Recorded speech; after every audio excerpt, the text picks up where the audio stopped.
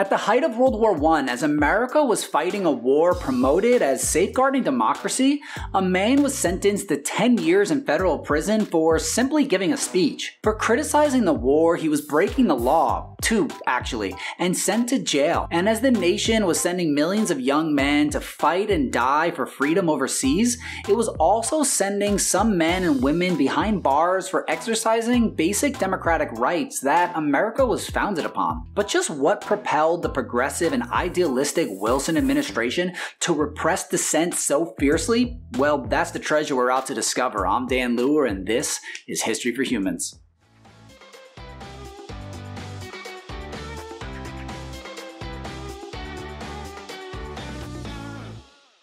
Eugene Debs, the man arrested for delivering that anti war speech, was born in a small town in Indiana in the year 1855. At the age of 14, he left school to work in a train factory for 50 cents a day. He quickly radicalized and began fighting for the working men across the country against what he felt was the cold injustice of the capitalist system.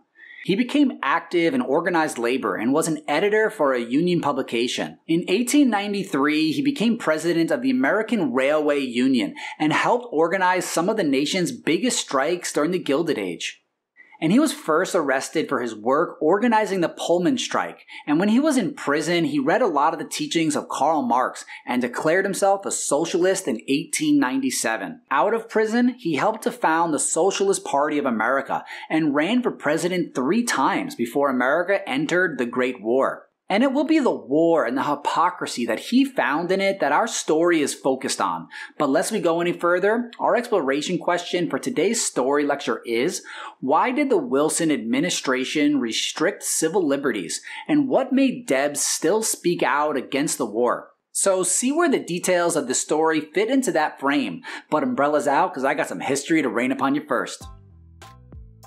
So in late 1917, America declared war, and though the country had been divided previously, patriotism soared with enthusiastic excitement for war. You see, war tends to rally folks around the flag. But remember, Wilson was elected under the slogan, he kept us out of war. So there were still Americans who continued to feel that this was not America's fight. So as the Wilson administration mobilized the military for war overseas, getting our troops ready and trained and ready to fight, they also mobilized a home front campaign designed to build support for the war effort. George Creel headed the Committee of Public Information and hired many former progressive muckrakers to persuade all the American people to support the war as a patriotic necessity. The committee used propaganda to demonize the Germans, highlighting the threats they posed and used figures like good old Uncle Sam and this classic poster to get Americans to join the military, conserve food, grow victory gardens, and even to support limitations on their freedoms to help with the war. And these were just some of the ways that Americans' lives back home were devoted to the war effort. And the Committee of Public Information also needed to sell this war as not just a means to protect America from German aggression, but as a war to fight for American principles and its high ideals, to give Americans something to fight for and to really rally behind. The two slogans were as American as apple pie and potato guns, to make the world safe for democracy and a war to end all wars. And in his speech to Congress about the need to protect human rights and democratic principles in the world, he also ironically promised to deal with disloyalty with a firm hand of stern repression, a promise he certainly made good on. Congress responded by passing the Espionage and Sedition Acts, which made it illegal to interfere with the draft, the selling of war bonds, criticizing the government or the war, and it was enforced with fines up to $10,000 and 20 years in jail. And that brings us to Dad Jokes in History! Why did Wilson support arresting anyone who was just criticizing the war? Let's hear it. Because he was trying to make the world safe for hypocrisy. Sorry, I had to get political there, but if you think that you got a better one, I'd like to see it below. So the passing of the Sedition and Espionage Acts so sickened Debs that he went on a mission to challenge them, defend his rights, and dare the government to come after him.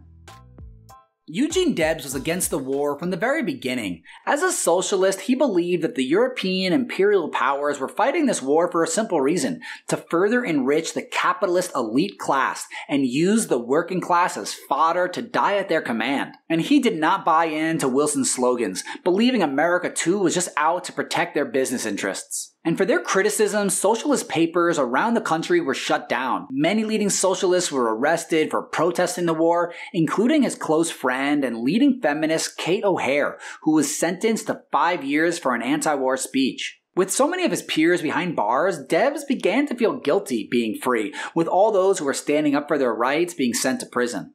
So Debs went on a speaking tour across the Midwest to rally opposition just as American troops were being sent to fight in their first battles and when most Americans were rallying to support those troops. He didn't mind the controversy and he had always been a fiery speaker. He could mesmerize a crowd with his words, passion, and message. So when he came to Canton, Ohio on June 16, 1918 and spoke, he aimed to convince Americans of the need to bring those troops home and to encourage others to resist the draft. It was a sultry summer day. Still, Debs wore his classic heavy tweed jacket, buttoned up vest, and sweat pouring off his massive forehead. He rose to the bandstand in front of the crowd of over a thousand people who were leaning in to hear his words. Amongst the crowd, federal agents circled, and a stenographer working for prosecutors began furiously typing, capturing Debs' every word as he fired off against the war. Dropping straight hammers from the podium like, wars throughout history have been waged for conquest and plunder. They have always taught and trained you to believe it to be your patriotic duty to go to war and to have yourself slaughtered at their command. But in all the history of all the world, you, the people, have never had a voice in declaring war. And strange as it certainly appears, no war by any nation in any age has ever been declared by the people. Yours not to reason why, yours but to do and die. The stenographer could barely believe how subversive his words were, especially with agents at hand. In his speech, he also challenged the view that those protesting the war were unpatriotic and traitors. To him, the real traitors were those sending the men to die, hiding behind the flag, but really had their eyes gleaming for golden glory. In his two hour long speech, he also spent much of the time promoting socialism and praising the Bolshevik Revolution in Russia, led by Lenin as the first real democracy. Now, this too smacked of irony and hypocrisy, even more than President Wilson's, because at that time, Lenin was carrying out a terror campaign of mass murder of his political enemies, not simply limiting some of their speech or throwing them in jail. And that should show you how complicated the figures of history are, and probably how complicated we ourselves are, right? And as Debs wrapped up his speech, federal agents eyed him closely as he backed away from the podium. The crowd dispersed, and then so did Debs. He left that day a free man, but would not remain so for long.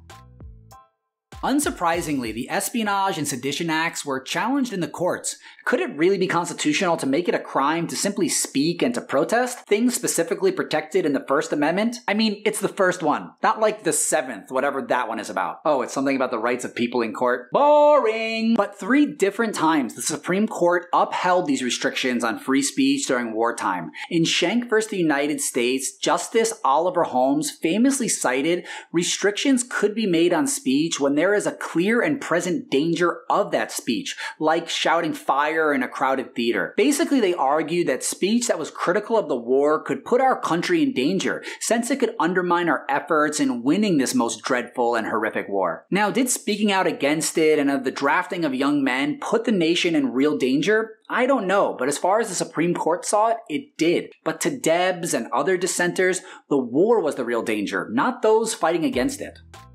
It was two weeks after his Canton, Ohio speech when Debs was finally arrested by federal agents. He was charged with 10 accounts of violating the Espionage and Sedition Acts. Debs was heading to trial and it made national news for those who despised and loved him. Once in cuffs, Debs stated, I thank the capitalist masters for putting me here. They know where I belong under their criminal and corrupting system. It is the only compliment they could pay me. He was already embracing the role as the martyr. And in court, prosecutors argued that he was encouraging protests and obstructing the draft, which is putting it pretty mildly. Debs was found guilty on three accounts and sentenced to 10 years in federal prison. His imprisonment was cheered by the press and much of the public. But it only seemed to increase his popularity across the country. He would run again for president on the socialist ticket in the 1920 election as convict number 9652 and got nearly 1 million votes. But after serving two and a half years of his term, the new Republican president Harding commuted his sentence and even invited him to the White House. And Debs continued fighting for the working men and women of the country, and his dream of a socialist utopia would not play out the way he imagined it in the decades after his death in 1926. Even though the war ended in 1918, the Sedition Act was not repealed until the last days of the Wilson administration, while components of the Espionage Act remain law today. And the ideas surrounding Deb's speech continue to be debated in the country and represent the line between our freedoms, our national security, and governmental power. For me, I'm grateful for the sacrifices of the soldiers and for those who fought for their rights guaranteed in the Constitution, even when it meant jail. And it's going to be your job as a citizen to consider if you think that Debs was right to speak out or if the government was justified in limiting some of our freedoms during war. Because I promise you, it's a question that we are going to continue to wrestle with in this country for a long while. So thanks for engaging in some history today. This has been History for Humans. And hey, if you like this episode, could you do a small act of charity and just click and show it? It's like right there. If it's awkward, I'll look away when you do it. Thanks. And for teachers and homeschool parents, there are lessons and resources that go with all of my episodes on my website, historyforhumans.com. That's historyforhumans.com. Because if you're doing a learning activity that you can find there, hang out because we got instructions in just a sec.